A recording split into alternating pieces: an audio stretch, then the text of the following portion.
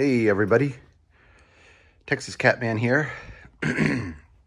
what we're gonna do today is we're gonna make a winter shelter for a cat using some scrap wood, a little bit of leftover insulation, and a couple of cardboard boxes with a little bit of Flex Seal for waterproofing. Um, what you'll need is some duct tape just to strengthen the boxes a little bit and uh, some type of insulation. It could be old plastic bags. It could be the packing that they send you. Uh, even bubble wrap, it works works good as insulation. Um, it could be old clothes, an old blanket, whatever it is. The idea is, is that we're going to take one box and put it inside the other box, which will leave a gap in between in certain areas that we could stuff and like in here with uh, something to insulate it. Um, obviously cardboard is not waterproof and that's where the Flex Seal comes in. Our first step is going to be um, to just strengthen the bottom. As you can see, this tape has broken here. So we're gonna just put a couple pieces of duct tape on there and uh, then we're going to flex seal the bottom while we work on the rest. So um, this piece of wood is going to go inside here like this to just add some weight so the wind doesn't blow it around. So um, the light is not the best there, so let me just bring it over here. So add add some some type of weight to the bottom of the uh, bottom of the first box. Set the next box in top. Put some insulation, seal it all, and then spray it with Flex Seal. Obviously, we're gonna cut some holes in the side so that the cat can get in and out. All right, well, that's the overview. Uh, first thing I'm gonna do is tape the bottom of the box and spray it with, with uh, Flex Seal to let it dry so that way we can work on the rest of it. All right, be back in a minute. Okay, so as you can see, uh, I'm almost done with the Flex Seal on the bottom. I've got a piece of tape on the edge, piece of tape on the middle, another piece of tape on the edge, and I've got a piece of tape right down here where the seam of the box is, uh, because that's where it always breaks. And I've got three pieces down the middle vertically here. So um, I'm gonna finish flex sealing probably halfway up the box and then put it outside uh, to dry and get on cutting the insulation uh, pieces. Um, okay, be back in a few minutes. Hey, welcome back everyone. Okay, so here's where we're at. The bottom is sealed with Flex Seal. I've cut two holes in the boxes and as you can see, this is the inside box got two holes in the outside box. You got two holes. The reason we do that is because cats really don't like to be trapped in one spot and be cornered. They like to have an escape route. So the first hole is gonna stay open and the second hole, we're gonna use, we're gonna tape a little towel here. Um,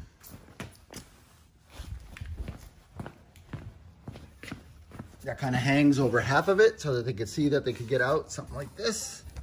Not exactly sure, but to block most of the air. And we'll we'll just secure it inside the flap of the box with tape or, or whatever. So um, something like that, just to just to kind of block the wind, but they know that they can still get out. Um, so I'm about to uh, put the wood in, uh, put the insulation around it, and get ready to um, uh, seal it all up and then flex seal it. All right, um, let's try this out. So I've put down some plastic bags from Solar Salt just on the bottom, just to add another layer of not only insulation, but uh, just water protection. Um, and the only insulation that's gonna be on the bottom, unfortunately, is that wood, but of course we'll put a blanket inside for the cat um, to lay on, so that'll, that'll help. Maybe even a heating pad. Okay, so I wanted to show you what this looks like so far. Um, as you can see, let me zoom in a little bit. I have held the box in place with multiple pieces of insulation. I have some of this old packing bubbles and some just packing paper in this one corner. And this box isn't moving, so that way the uh, where the holes line up, it's it's not really separated. It's not a perfect lineup, but the cat will get out of that. They're pretty small, especially the cat that I'm thinking about. She's she's really quite small. Um, so I might need to just trim that out a little bit. Uh, at the bottom there, as you can see, it looks like um, I didn't account for the um, the board underneath when I measured. So um, not a big deal. Just get a little razor knife and trim out a little bit more until the openings are basically evening even. So uh, right now, my next step is to just um, tape up the top of the box so it doesn't sink in.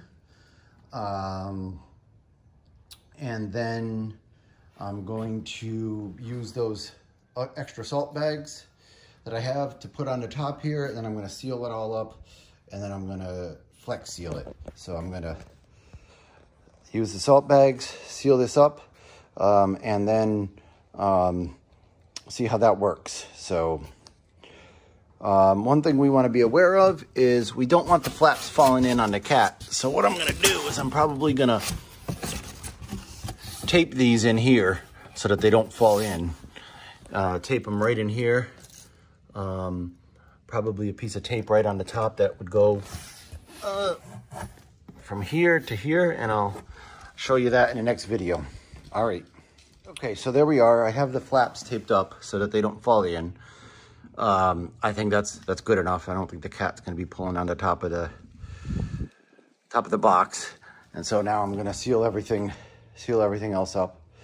And uh, this box is a little tall for the outside box, which is why I got the uh, solar salt bags. I want to make sure that there's uh, no issue of um, anything leaking in. And I'll just use tape to seal the, the difference. So, all right, I'll show you the end product before I spray coat it uh, with the uh, Flex Seal.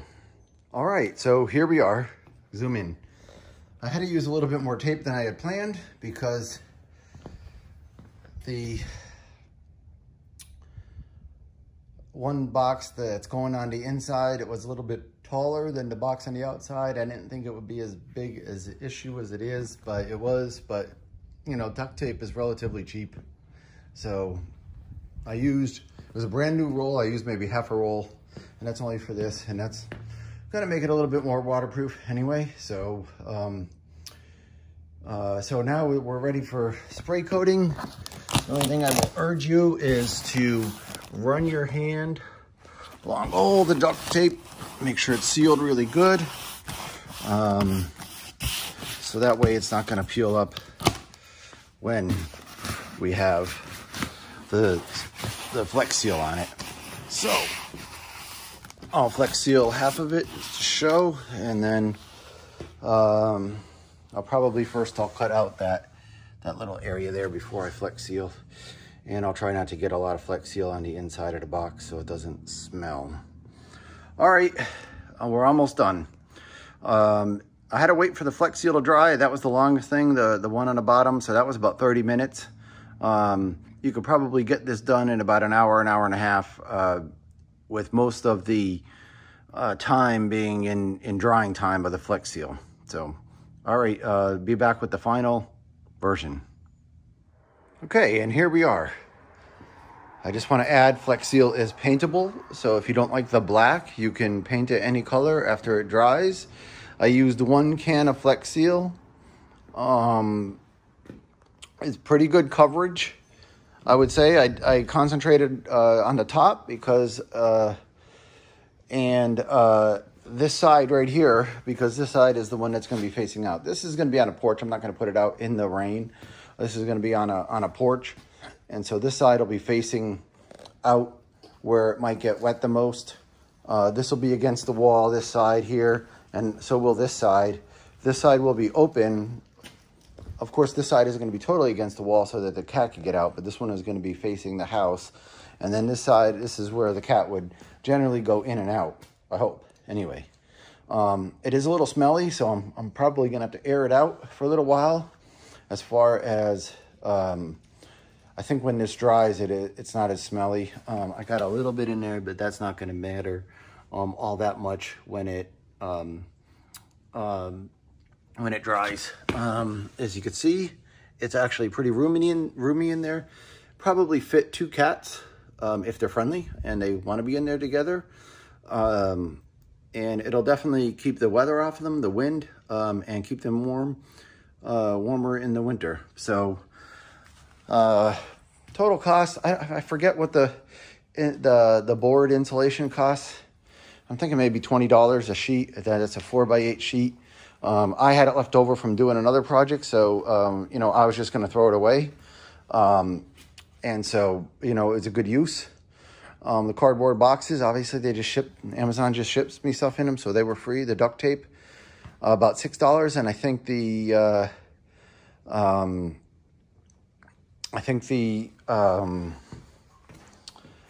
uh, Flex Seal is about twelve dollars. So eighteen dollars um, plus maybe uh, another six or seven dollars worth of uh, insulation material. But uh, again, you don't have to use the the board insulation. I had it, so I did use it. But you know, you could stuff um, books uh, if you have some old books um, that you don't want. Books would work fine too. It's it's like insulation, so um, that would be uh, something that you could use old books. Um, you could use old clothes.